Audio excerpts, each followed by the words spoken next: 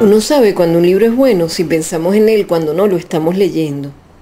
Esta es una de las mejores frases sobre la afición lectora que hemos escuchado recientemente de la niña de 10 años Paola Hernández. Ahora estamos sumergidos en la lectura de la trilogía Corazón de Tinta de la autora alemana Cornelia Funke, de 54 años.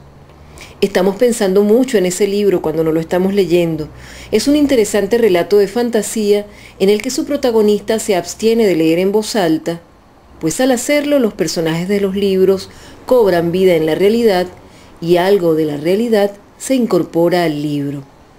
Bibliotecas gigantescas, libros antiguos, personajes llenos de bondad o maldad, gente corriente, libros, libros, libros, una niña lectora, metáforas, viajes, poesía la vida que se transforma en muerte, la muerte que se transforma en vida.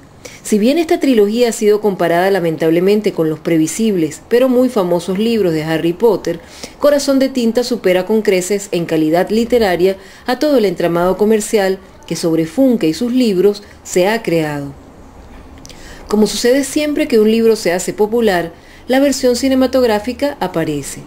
La propuesta de Ian Softly de 2008, producida espectacularmente en Estados Unidos por New Line Cinema, como es costumbre con las grandes producciones del cine comercial, no le llega ni a los pies a la inteligente composición literaria de la trilogía, muy bien traducida al español por Rosa Pilar Blanco en la edición publicada por Fondo de Cultura Económica y Ciruela en 2008, con ilustraciones de la propia Cornelia Funke.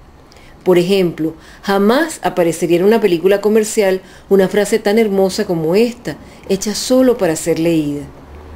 Si te llevas un libro a un viaje, sucede algo muy extraño. El libro empezará a atesorar tus recuerdos. Más tarde te bastará con abrirlo para trasladarte al lugar donde lo leíste por vez primera. Y con las primeras palabras recordarás todo, las imágenes, los olores. A nada se pegan también los recuerdos, como las páginas impresas. Y tampoco veremos en el cine los cientos de referencias reales sobre libros que aparecen en Corazón de Tinta, epígrafes, reseñas, descripciones.